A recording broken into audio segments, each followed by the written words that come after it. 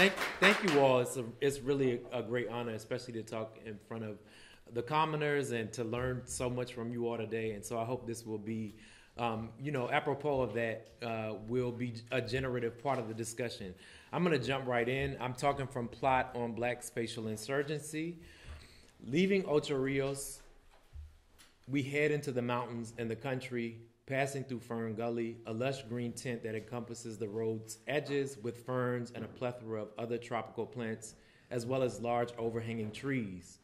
We are heading to the home place of my partner's grandmother and mother, a well kept home with land in rural St. Mary Parish, Jamaica. My partner's family introduces me to this place through their memories and stories of it. As we traverse further into the mountains, along the winding roads that extend away from the north coast into the interior, I grow in awe of the distinctive microclimates and vegetation through which we pass. At some point, after the forest and a series of cow farms and other places that my partner and his family point out along the way, the sweeping green of the sweeping green of grass fields, ruined it and forests are sometimes broken up by groupings of papayas, breadfruit, banana, ginger, yam, various vegetables, and coffee. In some places, the cultivation of these plants represents the vestiges of commercial farming, bananas still growing despite the loss of a processing plant long since abandoned following shifts in the geography of global crop production. Many farms remain cultivating foodstuffs for local markets, local truck markets. We see a cabbage truck along the way coming down, likely selling to wholesalers in bigger towns and cities on the coast, if not for export. Many of these cultivated plants, however, are set in small parcels of land adjoining homes and offer residents a cornucopia overhanging their aluminum rooftops and spreading out into the small parcels of land that surround their homes. After three trips into the country, including a journey to Bob Marley's birthplace at Nine Mile, I come to identify breadfruit in particular, breadfruit trees in particular, as places where houses are likely, even when I can't see a house because an old structure has given way, or for some houses because they are hidden behind a verdant wall as we wind through the mountainous topography. Breadfruits hanging over people's homes, along with fruit trees, vegetable plots, chicken coops, and other evidence of small scale food self reliance, suggest to me, at least as an outsider, Jamaica's enduring alternative modalities of cultivation and stewardship against the backdrop of the land tenure regime that evolved after slavery. I'm indebted to Sylvia Wynter's theorization of the plot and its genealogy in the context of the Caribbean and specifically Jamaica for helping to elucidate social spatial relations translated from rural to urban communities, particularly in relation to black communities in the US context.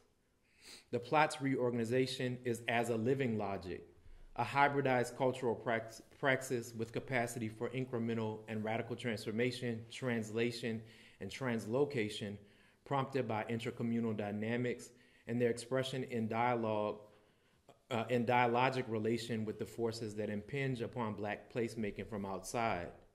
Neither breadfruit nor banana nor many of the other plants that Jamaicans cultivate in their yards are indigenous to the region. Africans transplanted ackee, banana, chocolate, plantains, and yam. Colonists brought breadfruit from the Pacific. However, it is in the partial indigenization of these plants in excess of the logics and organization of mass production and profitability that interests me as a point of connection and departure. Around the African diaspora, the plot and similar localized traditions serve as formations of basic food autonomy reflecting hybrid maroon and indigenous genealogies of cultivation, intimate through opposition with, but not predetermined by the boom and bust cycling of settlement, extractivism, racial capitalist cultivation, ecocide, and disposal. This everyday practice of baseline food resilience and self sufficiency resonates across the, the Atlantic and in the South African context as part of a, um, as part of a forthcoming zine uh, project, which I'm just giving you a couple of images from, not necessarily tied to what I'm saying, um, but as part of a forthcoming zine project centering Black ecologies. The other editors, Hugh Wayne Watson, Justin Hosbey, and the artist Elisa Diamond, and I have included an interview with an organization, Ujamaa, um, located in a township just outside Cape Town, South Africa, which has implemented a program of what they call guerrilla gardening in any available space within the township to underscore that, quote, food is free and to raise consciousness about the pitfalls of a commodified food system depending on petrochemicals, enclosed land, and the basic lack of nutritional self determination for black communities residing in post apartheid townships. These modes, noting again my limited and, limited and incomplete encounters with them through visiting and with reading about them from the perspective of community organizers, suggest important models for, for ensuring survival and abundance in my own home community, where the spray and poison system currently feeds chickens and capitalists while endangering the people, destroying the soil, decimating the hydrological system, and casting the future of rural life, even under green horizons, as sacrificial and uh, unlivable within the geographies of disposability.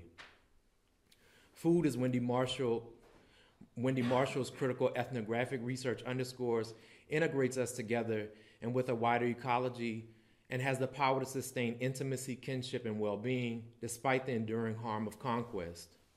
Our current U.S. food system, as well as other industrial systems networked through global markets and distribution, represent the plantation enclosures' legacies of toxic stewardship exported across a vast emporium including within the settler controlled territory of the U- U.S. itself and blowing back through the sinews of the Green Revolution and warfare securitized agriculture. Bioprospecting, ongoing genocidal land seizures, oil wars, and violent reterritorializations of infrastructures through the extension of the mining plantation extractive complex continue to drive the denaturing of land and waterscapes and the sundering of human relations to the specificity of place, unmaking the delicate relations of the biome and of living from Puerto Rico to Virginia and Vanuatu. In the context of my own home community and our, and our ongoing vulnerability um, and disposability, even within horizons of the green transition, I've been working in recent months uh, with an organization, Just Harvest, to imagine, practice, and build and sustain an alternative food system for Essex County and surrounding communities in Virginia, beginning through political education and practical gardening information, as well as a planned communal garden with a desire to create a wider network of reciprocal exchanges, reconstituting community outside capitalist markets, germane to indigenous and black modes of inhabitants and collectivity. What Ujamaa and the quotidian practices I witness in Jamaica suggest is the use of the interstices of property to feed ourselves and each other.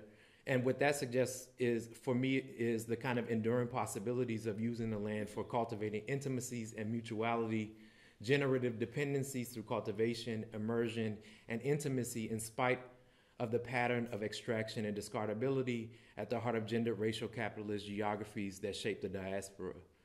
So from there, I want to turn um, just very briefly, because I know we're uh, a little behind, um, to just giving a, a, bit actually from the, the beginning of Dark Agoras um, and really thinking about rural, uh, a rural kind of commons um, through the paradigm of what I call and have called plotting the black commons. So I want to start, um, and this really underwrites, as you'll see as I move through this, um, the kind of opening of Dark Agoras which um, again follows the kind of and traces the kind of ways that rural imaginaries and practices of, of land, alternative land use in the context of slavery and post emancipation life, the ways that black communities trans, um, transfer and trans um, and and um, and translate that to the urban context. So I'm hoping to to have something to say both to folks who are interested in rural and urban commons. So I'm going to start with um, thinking a bit about slavery. Um, it's quite important to note that in the context of Virginia and um, the plantation system across the kind of um, Virginia into the Caribbean and most of the Americas, that starvation is an everyday um, part of the discipline of, of the plantation. Um, and that's, that's um, heightened by sort of the use of glut and feasting actually to violently uh, reinforce and underscore the day to day ways in which starvation is used. So, for example, you can think about in the context of um, Christmas feasts in Virginia are, pretty um, infamous enslaved narratives and other narratives um, about that period because um, you know, everyone is pretty much hungry on a regular basis. You get to Christmas, they they stuff you with food and with liquor, and then on January first is like the rent and sale day. Like people are sold from their families a week later, right? Um, people are stolen from each other a week later. So I wanted to just start with hog stealing. Um, hog and, and, I'm not sure that's necessarily a terminology that is resonant in this context, but pigs, right? Pork.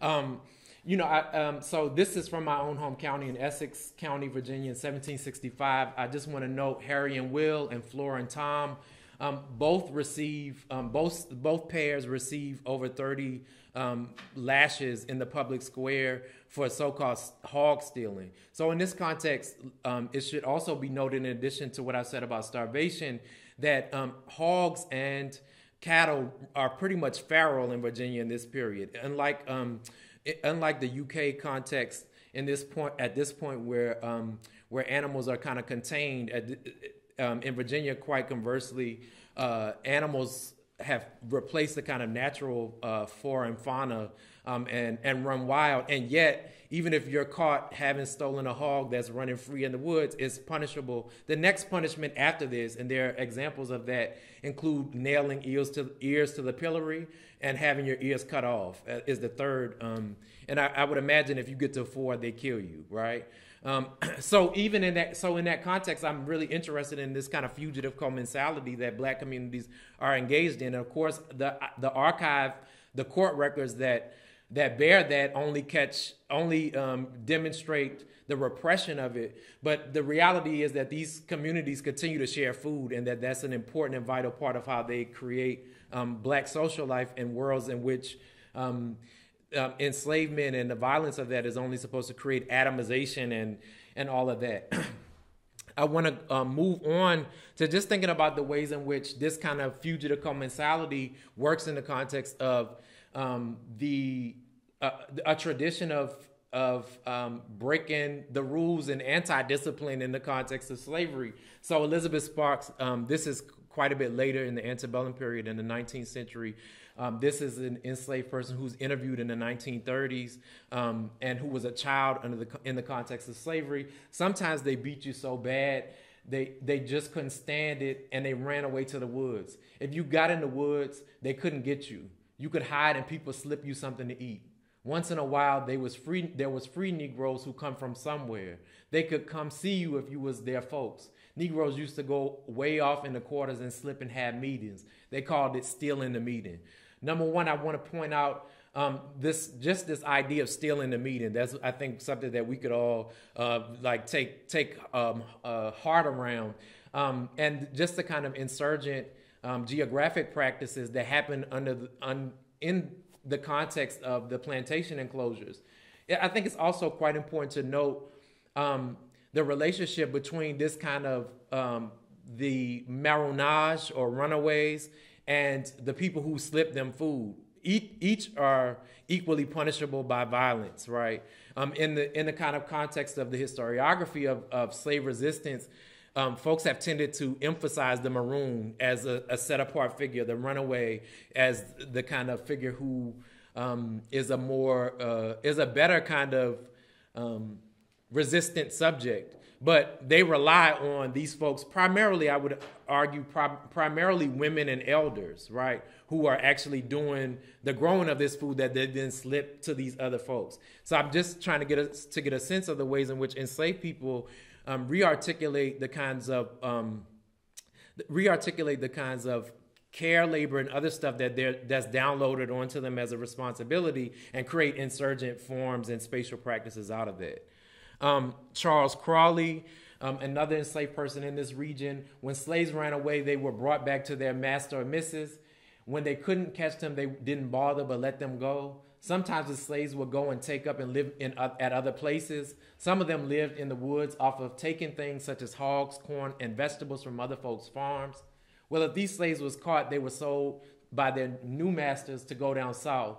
They tell me the masters down south were so mean to slaves that they would uh, let them work them cotton fields till they fall dead with holes in their hands and would beat them. And I'll show you in a bit um, this kind of um, violent removal of, of enslaved people to the deep south in a second just to help contextualize this but I, again i want to note that hogs and corn and vegetables that enslaved people are um, growing and cultivating in the context of of the plantation that they're using that as a, a form of resistance um, that connects those who stay on plantations and, and are visible to masters and overseers and those who are in the woods like that's a continuity in a, in a community. In some ways we could think about that as a in some ways is resonant with a foot in and a foot out right? Having that kind of relation. Um, i also want to note um, actually i'm going to um, keep it in the interest of time James L. Smith, a pub- self-published narrative in 1880. One night I went crabbing and was up most of the night. A boy accompanied me. We caught a large mess of crabs and took them home with us. The next day I had a card for one of the women to spin, and being up all night, I could hardly keep my eyes open. Every once in a while I would fall asleep. So here we can get a sense of the ways in which this responsibility for feeding yourself in the context of plantations slips into um, uh, into the into actions, collective actions that actually pull at the discipline of labor in the context of the plantation. So, um, so while while uh, enslaved children and all enslaved people are being starved to death and and have to grow food by night in gardens or go fishing or hunting at night, um, that that leads them actually to have a more subversive relationship in, um, in relation to um, the discipline of, of time and, and place in relation to plantation ecologies. James V. Deane, another 1937 WPA narrative. My choice food was fish and crabs cooked in styles by my mother. Deane is um, an enslaved person, uh, as an enslaved person, lived at on the, along the Potomac um, in Maryland. Um, and I want to note that this is, it may seem just like a passing reference. My mom, right? If anyone has ever read Frederick Douglass's narrative from this same region, Douglass notes that he only met his mother three times by night, right? And Douglass analyzes that as a part of the fact that um, enslaved children are stripped of their mother, the relationship to their mothers from very young, so that it's easier later in life to sell them without have them having formed kind of intimate bonds with kin. So in this context, saying that I am, am engaged with you know, first of all, that I remember my mother, that I remember I can actually hold on to something that she prepared and I can still, you know, I taste it, right?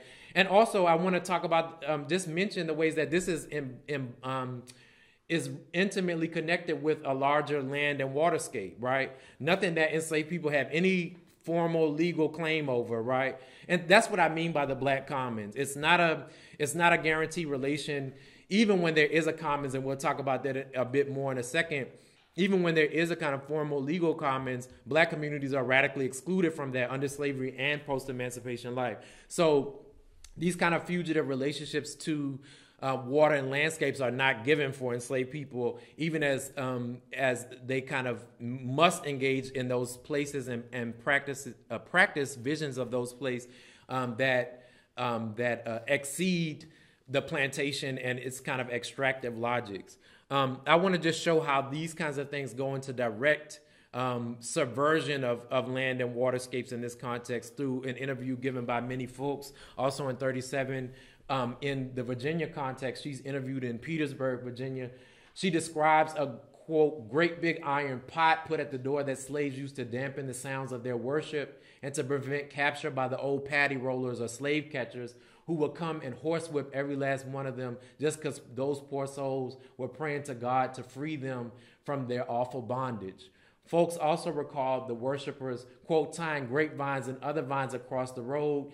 Then, when uh, when the paddy rollers come galanting with their horses, running so fast you could see them vines would tangle them up and cause the horses to stumble and fall. And lots of times, badly, they would break their legs and the horses too. One interval, one old poor devil got tangled. So, and the horse kept a carrying him till he fell off the horse. And the next day, that sucker was found in the road with them vines was wound around his neck so many times. Yes, had choked him, they said. He was totally dead. Serves them right because them old white folks treated us so mean. And in the, I want to note that in the, even in the context of the 1930s, for an elder black woman being interviewed in Virginia to say, at another point, she says, I hope the creeks rise and kill all the white people, right? Like she, she sees a very different relationship to ecologies and geographies here that are born of this plot imaginary. And they're not always in direct confrontation with slave mastery because that would be a certain death in many contexts. But it, it, um, it, there's a cultural context in which these kind of subversive forms and the black commons um, underwrite the possibilities of black social life. I want to turn very quickly to, and I hope you can see this, just to think about the con- contextualizing this in the kind of enclosure of the plantations. Um, so this is a black population change, 1800 to 1810, and um, what you could in the the lightest tan colors are the greatest population gain for so for enslaved Africans. Um, the lightest blue is the uh, greatest population loss. So you can already see that um, 1810 to 18, I mean 1800 to 1810, black communities are being displaced from like at least small segments of the Tidewater here um, and South Carolina into what's the upcountry, right? Um, that's because plantations have, a, especially in Virginia, but also in the Carolinas, have an avaricious relationship to the soil. Tobacco kills the soil in a, in a, in a generation. So this um, this enclosure is being driven by the fact that the kind of ecological um, relationship of the plantation is totally extractive and and it creates a regime of disposability for land and people, right? So this is a population change 1820 to 1830. You could see in this context um, the the reterritorialization through the Trail of Tears that's happened just prior to in, um, just prior to this period um, transforming the kind of um, what had been um, Cherokee and Choctaw and other indigenous peoples' land into plantation ecologies, primarily using enslaved labor to clear all of that land, right? And to plant cotton, as we'll see. This is the top of the antebellum period, right before the Civil War, 20 years before the Civil War, 1830 1840. You can see what those enslaved people that I just um, pointed to are talking about anyone who's of a certain um, of a certain age, of certain able body, is sold to the deep south in this period. Du Bois note, notes, for example, that um, the the plantations in the upper south become plant, uh, breeder plantations, right, where literally the profitability of slavery is the sale of, of slave children and young people to the deep south to the cotton and sugar regions that are emerging in this these new rounds of genocidal enclosure that that happen in this in this area. Um, 20 or 30 percent of slaves come through the Chesapeake um, region, and, and um, you know many of them go to through the port of New Orleans. By the by in 1860, Richmond, Virginia, and New Orleans are the two biggest ports, um, slave shipping ports in the U.S. And that's because Richmond is shipping out, and New Orleans is importing slaves, right? Um, just to give you a sense of the kind of um, environmental catastrophe that this that cotton is um, in this context of what had been indigenous cultivated forests and other landscapes. Um, you get the intensification of cotton. This is the red here is 45 bales of cotton per per acre. So this is tremendously um, bountiful land that is being consumed and gobbled up um, through the, the plantation enclosures. Um, in this context, I want to just note that enslaved people continue to use the kind of um, social formations that I've discussed in the Virginia context in the Deep South. Donaville Broussard, an enslaved person who was interviewed after slavery in Louisiana. Each slave could have their little garden. They raised vegetables and had a couple of beehives for the honey. Again, we might read that as just a kind of, oh, well, they had a garden. But when we go back to the reality that um, that this is the basis not only for um, black social life in this context, but also black insurgencies, black spatial insurgencies. These are the people that are feeding the runaways. These are the people that, you know, Nat Turner, the the um, you know the infamous or famous uh, slave rebellion in 1831 in Virginia he's not found he's found in a cave six weeks after the the unsuccessful slave rebellion. Somebody's feeding him right? Like this this is part of the kind of regime of resistance. Um, i want to note charlotte charlotte brooks. Um, her narrative is collected by another black woman in 1890 most deep south narratives are not are collected even in, during the wpa by white um, interviewers. So this is distinct in the sense that a black woman is interviewing a black woman. Um, Octavia, uh, I mean Charlotte Brooks notes that she sold from slavery in Virginia at about 14 or 15 years old, as far as she can recall. She's shipped to a sugar plantation in Virginia. I mean, from uh, from a uh, like a wheat farm in Virginia to a sugar plantation in Louisiana. She gets there. She's to- totally socially isolated, right? Um, her master speaks Creole. She speaks English. Most of the other enslaved people around her don't speak English. Um, they practice Catholicism. She has literally no cultural context for what's happening around her on a day to day basis. About four years into her enslavement, um, uh, Charlotte Brooks notes that she catches wind through the grapevine, which is another part of the kind of black um, spatial uh, practices that are unsanctioned by masters. Is this like from plantation to plantation? People give information, right? She hears through the grapevine that about um, that that another enslaved woman has just been sold to the neighboring plantation from Virginia. Her she says in the narrative, like I thought, let me um, let me go find out if this first of all, if this woman is related to me, or second of all, if she knew my mother, right? Remember going back to what we said about um, the, the fragility of, of enslaved folks and their relationships to their parents, um, especially their mothers, is, is you know made fragile by these these transformations. When she gets to the other plantation and encounters this woman, they realize they don't have any kinship bonds at all.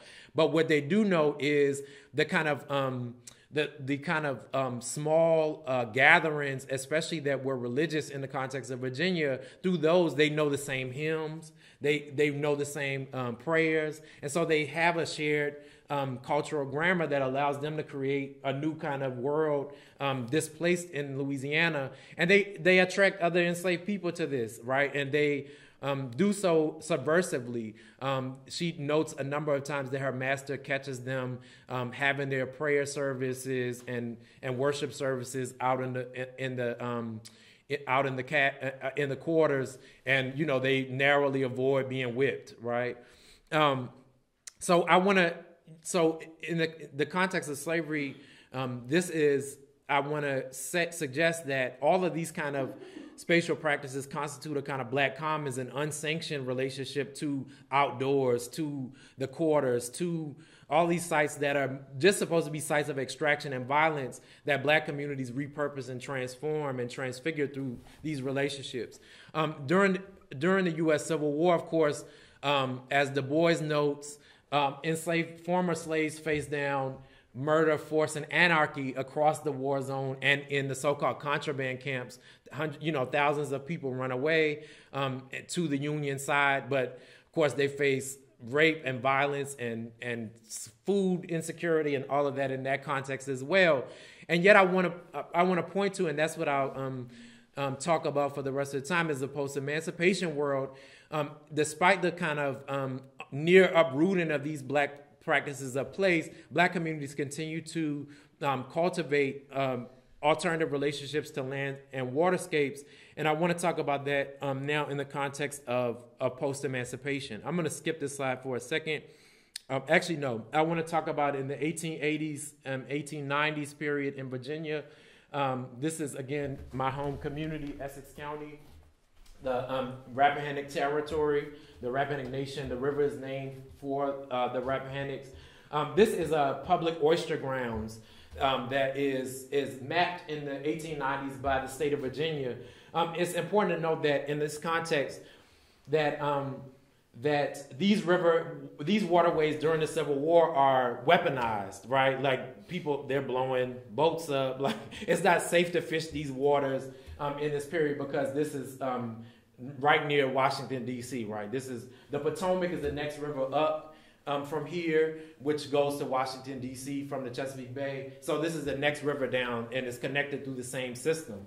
Um, the so the so in the, in the context of 1880s and 1890s, there's been nearly a decade or more where no one has really fished in a in a major way um, these waterways, and suddenly there's a bonanza in these waterways, a, a, a new round of enclosure that's associated with the 1890s, um, where the state of Virginia is seeking to codify oyster grounds, map them so that they can, you know, take what is a a complex species and its uh, delicate relationship between land and water, salt and fresh water, and make it into a fishable commodity, right? Into into oyster grounds. Um, so I, that's the kind of context that I want to talk um, about um, the ways in which black communities continue small scale levels of cultivation in this in this context um, of these waterways. And let me just note really quickly: this is governed governed through um, the adoption in the U.S. context of, of English common law and through the kind of 1820s or 30s riparian doctrine in the U.S all tidal rivers are considered a commons, right? Um, now that that again, when it comes to black people, that's a very different relationship because they have no legal rights as uh, that are guaranteed in that way. Um, and in this context, um, I want to just note in the context in which um, the state of Virginia begins to uh, rent riparian land, hundreds of acres at a time, and white um, white um, oyster workers um, are growing hundreds and hundreds of acres of oyster cultivation um, riverland that black communities, um, partially out of necessity, but partially out of the ongoing ethos of the black commons and the plot, continue to small these to to just cultivate these really small kind of um, these small kind of holdings. In this context, the the Fauntleroy family um, rents a half an acre in, um, from the state of Virginia um, according to the census, the family also owns about 20 acres of land, um, 10 of which they 10 of which they plant, five of which they um, five of which they keep a, as a meadow or a or an orchard, and then five of which they keep as forest land, right?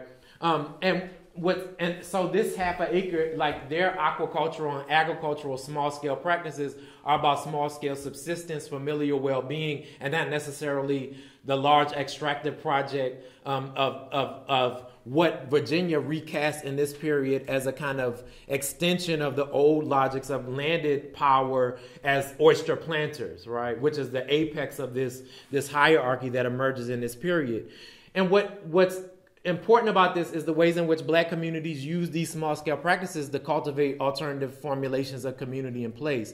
So I just want to um, highlight a place called Lit Walton. Um, that's described here, and I won't read through this, but it's described as a layer of chocolate and a slice of chocolate cake. um, and so basically, it's these, it's um, they're they're the, um, and this is out of a federal study, the so-called oyster Negroes, right? And what's interesting is what uh, the large um, up against the waterways. Let me go back up against the waterways. The planters still hold on to the large, the prime land in, in these tidal areas because it's the best land for cultivation. Now, in the back country, black people are increasingly in this period being relegated to um, to sharecropping and to other kinds of very um, exploitative and extractive forms there's this they talk about the lit Walton Negroes in the early 20th century are these folks who are able to to basically create a sliver of land that they own and control that's between those two, that's sandwiched between those two pieces. Um, where black folks are able to cultivate their own social worlds. They build churches, they buy homes, they build small businesses, they create a kind of um, a world within a world, even in this, uh, despite the kinds of um, repression and violence that they face increasingly after the 1890s, um, coincided with the institution of Jim Crow, right? Um, I just want to point to the ways that this helps to cultivate a whole black world. Um, so the Gloucester Letter is a newspaper that's associated um, with the first black high school um, in the 1889, um, founded in 1889. Um, in this in this um, same region, this is the first. so Virginia makes no provision until the 1940s for black secondary education. So black community, it, um, and this is the editor of the um, of the Gloucester Letter, who was also the principal of that at this first school, says basically after this emancipation celebration on January the first, that um, we didn't get as much money as we wanted this year for the school building fund, and the reason that we didn't is because the oysters weren't good this year. It wasn't a good crop. That's the negative frame, but we can understand that that means that these little small scale oyster oystering communities and efforts are actually funding a whole black world that includes black educational facilities, black churches, and, and basically the basis of a black social world in a context in which lynching, um, segregation, and economic exploitation continue to be the kind of name of the game. Um, just to show you the ways in which um, this continues into um, into the 20th century. I wanted to show you another the the second school, and this one is um, in my home community in Essex, or was. Uh, the Rappahannock Industrial Academy, which is at Ozeana, um, also an oystering community um, in in the same area. Um, Ozeana, I think, is like around here. Um, this is Bowler, so it must be like a little bit further, actually. No, a little bit closer. Let me see if I see. No, it's not on here. But Ozeana is is on, is near Oystering, um, Oystering grounds, and um, and so black communities in in Essex County go ahead. They also create a um, create a a secondary school. Um, and what I want to note about these are these kind of um, lists where basically um, black women are very clearly cultivating their own patches of land, and how they're sustaining the school is through these pantry drives with you know a, a quart of oyster. I mean, um, uh, uh, two quarts of preserved fruit. Um, you know, beans, all these kind of things that the plot continues to be the kind of un- the the material relation of the plot and Black Commons, even in the context of post emancipation life, continues to underwrite um, black possibility. It's critical because these these are this school hosts a number of like agri- um, black agriculturalist discussions. Um, and it extends into places like Philadelphia. The Alumni Association, after the Great Migration, there's alumni associations in northern urban cities that are noted in black newspapers as being connected to these places. So it's not just this hyper local, um, you know, one county thing. Like these networks that build out from these kinds of institutional spaces, they are um, underwriting a whole. They're underwriting black life in a context in which black people are could still considered disposable, right, um, and viol- violable. Um, despite all of that, however, this um, and I, it's important to note that these um, these relationships of alternatives that I'm talking about, they precede and exceed Jim Crow, but they do evolve in dialogue with Jim Crow as well. And I want to just note that the Jim Crow enclosure is real. So Carter G. Woodson, a famous um, uh, black historian, um, first black historian with a PhD from Harvard, um, Virginia born and raised, notes that in the 1920s, in his 1930 book, The Rural Negro, notes that in the 1920s, black people were increasingly, quote, turned away from the bathing beach, which was once a free for all swimming place not admitted to the private game reserve, which occupied the old fishing and hunting grounds, and prohibited from having, quote, any parties on the Placid Lake where they once rowed their canoes without fear of disturbance. Um, and what I'm, what, what we're, I mean, here Woodson is literally just noting an enclosure, right? But particularly an anti-black enclosure, because many of these spaces, as he goes on to note, they do go on, they're, they go on to be white exclusive leisure sites of, of white leisure. Um, and just in the context of Essex County, this is the same period um, where Thomas Washington is lynched in an oystering community, um, and and just just a reign of terror over Black life in this in, in the Jim Crow South through sexual violence, murder, chain gangs, and others other means of basically recapturing Black life um, for the aims of of um, confining it.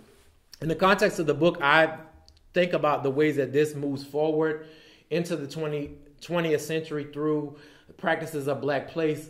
In the interest of time, I'm gonna um, I'll just say just very quickly. Um, I, I, think about Father Divine. I think about a range of institutions in the book that include spaces of the economic and social underground, what's considered disreputable, and also um, organizations and, and, groups that are considered um, to either be uh, kind of haplessly religious and or um, and, and or in this context even cultish to think about um, what black disreputable forms of black life might actually tell us about um, working class black place and the ways that black communities in the Great Migration translated the imaginaries of the plot and all of that into the context of the of, of cities.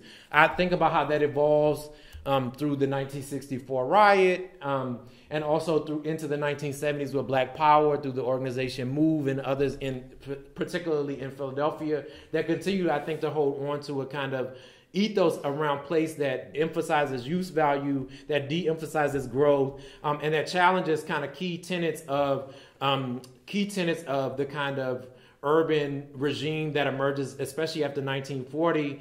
Um, one that suggests that that black people either need to be removed from the city or that they need to be contained and enclosed within a city. Um, and and uh, as we see, that comes to Negroes with guns, right? to play on uh, Robert F. Williams' uh, metaphor. Um, I end the book uh, with thinking about the 21st century in Philadelphia, where many of these kind of insurgent spaces of black life have been displaced through gentrification and the emergence of real estate investment trusts, large scale reterritorialization.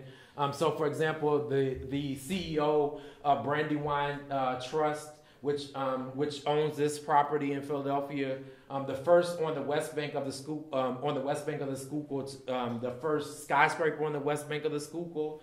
Um, or major um, non-governmental skyscraper on, on the west bank of the Schuylkill. Um, you know, Brandywine Trust in in um, 1990s has five million dollars worth of property. Now they have five billion dollars worth of property. So we can see the kind of um, expropriative, violent real estate regime that is a global one. Um, they own millions of square square feet of property that extend from Philadelphia to Texas and probably internationally as well if we really start picking apart their portfolio. Um, and also, this man is a kind of shadow mayor. The CEO, last I checked, all the kind of parks in central Philadelphia have been privatized. He's he is bo- he's the board chair of all of those. so they have a, a, private security firm. I mean, we can see all the ways that this is horrible. Um, but uh, it continues to. Uh, what I'm getting at is it continues to evolve um, in a kind of repressive relationship um, with the plot and the Black Commons. I want to end actually by turning towards a new project um, and just read from June Jordan to think about the ways that the plot continues to um, inhabit Black feminist visions and Black power visions. Um, in particular, I want to think about um, June Jordan's. Uh, she wrote a dra- she drafted a, her second novel um, in nineteen in the 1970s after a trip to Mississippi, where she met Fannie Lou Hamer and others. Um, and Jordan, um, Jordan is not her parentage is not black U.S. but actually Caribbean, and so I'm interested in what um, what it means that she sees Mississippi as the future. Um, and I'll just read this because it speaks for itself, and then I'll get out of y'all's way. Um, so the controlling intellectual background, and OK Now was never published. The publisher, it, uh, um, she had a contract for a book she submitted this book, they were like, "Girl, bye. We are not, we aren't doing that." Um, what? No, her first publisher asked her, "What? Basically, who are you to do um, anything about land reform? Who are you? Um, as a poet, as a writer, you don't know anything." Even though she had won the Rome Prize in design and and was was friends with Buckminster Fuller, they were like, "Girl, we don't know you." So. Um, I'll just read this and, and then hush. We must learn to share the earth while there is still time to try. Among other things, this means that whenever private property rights conflict with absolute human need, these rights shall be modified or eliminated. My thesis is that America has more than enough, more than enough power and natural and fabricated resources to make this nation a haven for all of its people. And America possesses more than enough power and genocidal precedent and tendency and suicidal obeisance to the industrial values of efficiency, increasing product to destroy the earth now and forever. It is neither right nor necessary that our common resources, including those of the federal government, uh, function in an unequal, unbalanced manner so as to guarantee the privation and debasement of millions of Americans and their children. We are not helpless here in Mississippi, America. We can rescue the center city community of Brownsville, which is in Brooklyn, so uh, urban community, we can rescue the center city community of Brownsville and the town of Ruralville, Mississippi, where Fannie Lou Hamer was a rural Mississippi town, as surely and as easily as we can rescue the Lockheed Corporation. Of course, the Lockheed Corporation is a major bomb and, and weapons generator. Within America and abroad, thinking peoples are terrified that moral government in the United States is a child's chimera, and they have and they have come to accept that we are defeated a priori if we hope for proof that this country can instigate and sustain dramatic, radical political and economic change simply because human life is at stake. Stopping the hunger, ending the systems of gut and spiritual starvation in Ruralville, Mississippi, America will demonstrate our capacity for radical right action. It will unify the desperate, the furious, and the stolid, black and white. It will create a rural alternative to urban failure for the currently poor and the young and the success exhausted middle aged. It will block the intolerable abuse of our finite resources of land and our finite resources of existing particular lives. For all these reasons, the hungering must be stopped. Land reform should take place in Mississippi, America, and it can happen. OK Now will show why the new life associated with land reform is necessary, wanted, and also how it is possible. So I'll stop there. Thank you.